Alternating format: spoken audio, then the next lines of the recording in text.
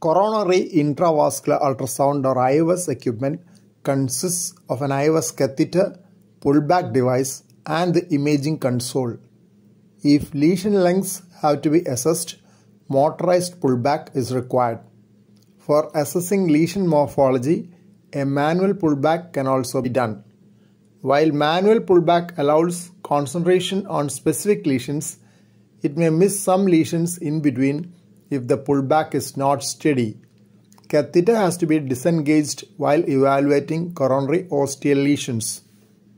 Heparin and intracoronary nitroglycerin are given before the guide wire is inserted after the coronary cannulation with the guide wire. The IVUS catheter is then introduced over the guide wire.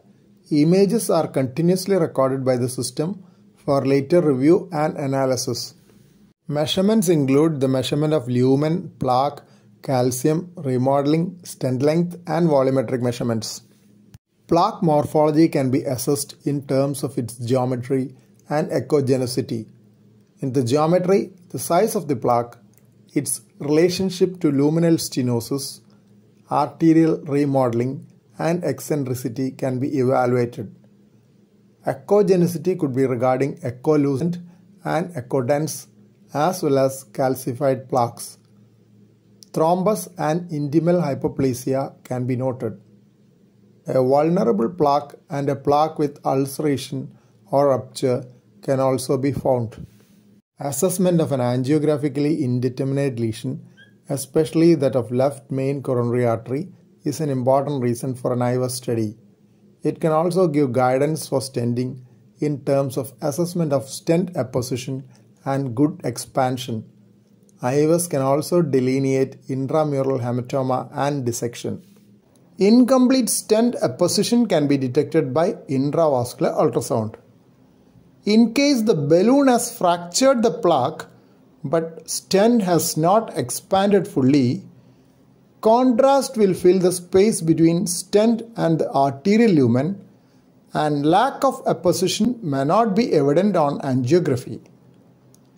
IVUS will detect this and post dilatation can be advised, resulting in good stent apposition and lesser late lumen loss.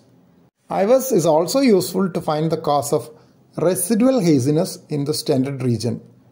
It could be poor dilatation or thrombus, which can be differentiated by IVUS.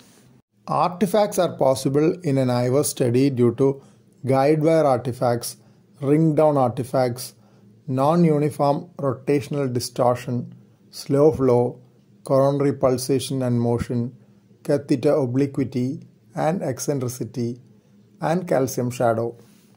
Major complications are rare and could include dissection or vessel occlusion, but these major complications occur usually during interventions rather than diagnostic IVUS evaluations.